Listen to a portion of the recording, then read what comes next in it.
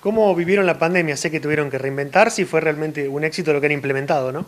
Sí, eh, todo el mundo se tuvo que reinventar, pero nosotros ya teníamos la virtualidad, ya teníamos 60.000 alumnos en la virtualidad y desde que empezó la pandemia hasta ahora pasamos de 60.000 a medio millón.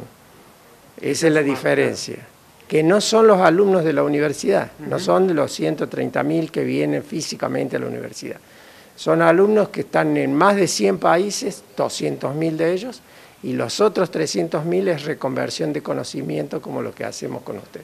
¿La vuelta a la presencialidad? ¿Cómo la ve? ¿Cómo, cómo la, Bárbaro, pero que no nos olvidemos de, que solamente un pequeño grupo, que son 100.000 personas eh, o 130.000, eh, tienen la oportunidad de hacer cosas presenciales. Entonces nosotros tenemos la obligación de ocupar el territorio y el resto lo vamos a hacer semipresencial porque siempre va a haber alguien allá en el medio del campo que, le, que, les esté enseñando de, la cooperativa lo, lo que no les estamos pudiendo brindar nosotros virtualmente. La pandemia fue un momento de crisis importante, pero toda crisis se puede tomar como una cuestión definitiva o como un desafío. Para nosotros la universidad eso fue un desafío importante y nos llevó a potenciar todo lo que ya se venía trabajando que tiene que ver con la virtualidad y cómo enseñar y cómo la universidad nunca paró de, entregar el conocimiento y de abrir las puertas.